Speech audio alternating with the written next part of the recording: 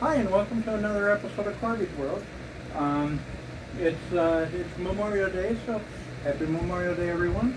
Corbie is trying his first barbecue cheeseburger. Without barbecue.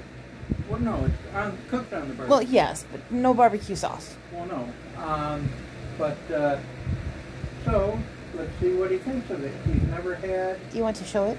any type of smoked anything.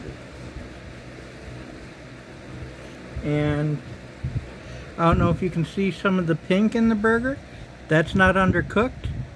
What that is, is a coveted pink line of smoke. Nummy nummy.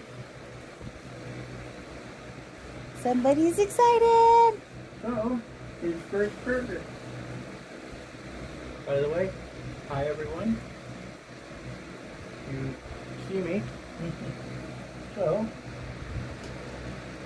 here it is.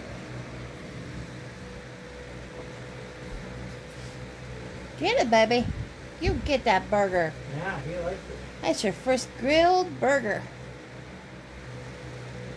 When you see me, sorry if I look all sweaty and everything. I, uh, you know, I'm out barbecuing, you know. so the bowl's going across the floor, so usually that's a good sign. Yeah, I can't see him no more. Oh, it's gone anyway. Uh, good job, baby boy.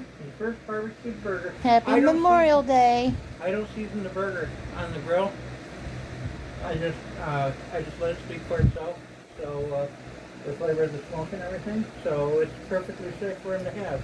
You would never want to put any type of seasoning on there that has any onion or anything like that because that's harmful to, to all dogs. So, you know, so there you go. He likes it.